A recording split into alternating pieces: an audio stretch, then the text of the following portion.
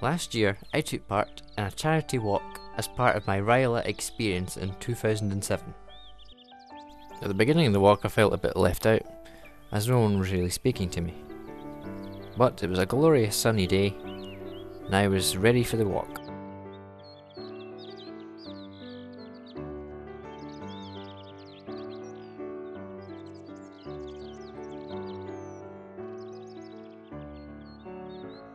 This was taken near the end of the walk.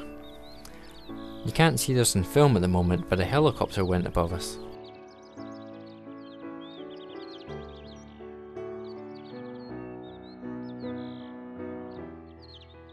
I've had these boots for about two years. They really do need some upgrading.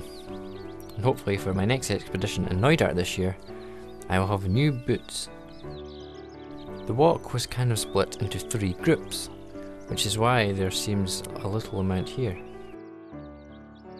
I only took part in one of the three days of the walk, and we had about five stops during the day, and we covered about 20 miles. This is one of our many stops along our walk.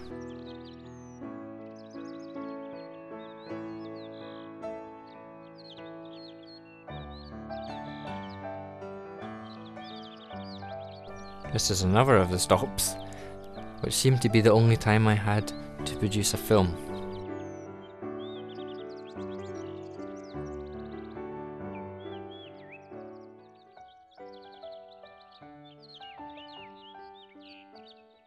I didn't know many people on the walk, but I got to know a, a few number. That girl on the right is Mary, and Bryony is the one on the left there, which I managed to speak to in the walk. And the two, the woman and the man on the left, actually never were going to be on the walk. Were actually the parents of another boy on the walk, and somehow managed to get themselves involved with the walk in the end of the day. This was a tough bit climbing it. It looks easier than it was,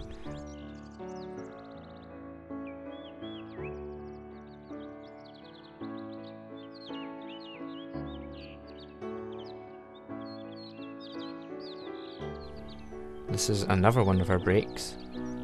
Um, it was quite windy at this point, and everyone was quite quiet.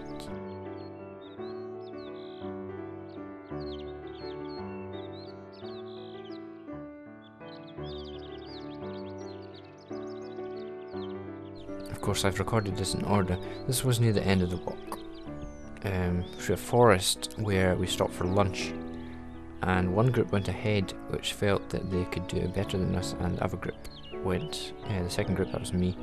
We felt we were quite good but not good enough and then there was a slower group behind and somebody had a broken leg that day